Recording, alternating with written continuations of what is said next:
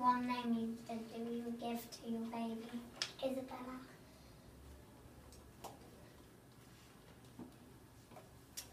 What do you ask of God Church for Isabella? Baptism. You have asked to have your child baptized. and In, in doing so, you are accepting the responsibility for training